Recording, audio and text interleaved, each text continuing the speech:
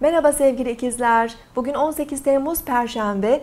Bugün ortaklık e, ilişkisi içerisinde olduğunuz kişilerle bazı bağlantılara geçebilirsiniz. Özellikle günün ikinci yarısından sonra bazı fırsatlar karşınıza çıkabilir. Yeni önerilerle, tekliflerle karşılaşabilirsiniz. E, çok yoğun bir gün geçirebilirsiniz. Ancak bunları da e, lütfen gündeminize alın ve görüşmek için programınızda değişiklikler yapmaya çalışın.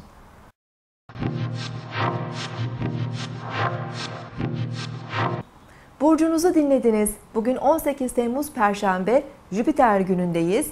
Ay sabah saatlerinde Akrep Burcu'nda ilerleyecek. Daha kararlı, hırslı, tutkulu olacağımız bir gün içerisindeyiz bugün.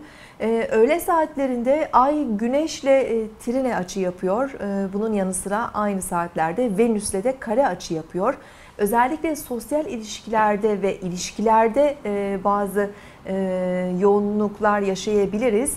E, bayanlarla ilişkilerde bazı zorlanmalar olabilir Ay Venüs karelerinde. Bunun yanı sıra Ay Güneş kareleri, e, trine açıları e, günlük hayatımızda bize yardımcı olan, destekleyici e, görünümlerdir.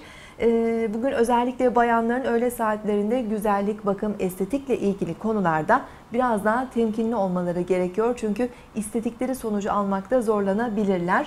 Ay 14-15'te boşluğa girecek ve akşam 20.55'e kadar boşlukta olacak. Bu aradaki süre içerisinde de e, günlük işlerimiz biraz yavaşlayabilir. E, hızlı sonuçlar almakta zorlanabiliriz. O nedenle önemli alışverişler ve toplantıları ertelemekte fayda var. E, günlük işlerimizle de ilgilenmemiz doğru olacaktır.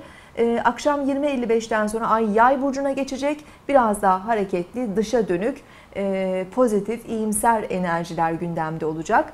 Gün boyu Yengeç burcundaki Merkür e, retro hareketini sürdürüyor. E, ay düğümlerine açı yapıyor. Bunun yanı sıra e, Şiron'la da üçgen bir açı yapıyor.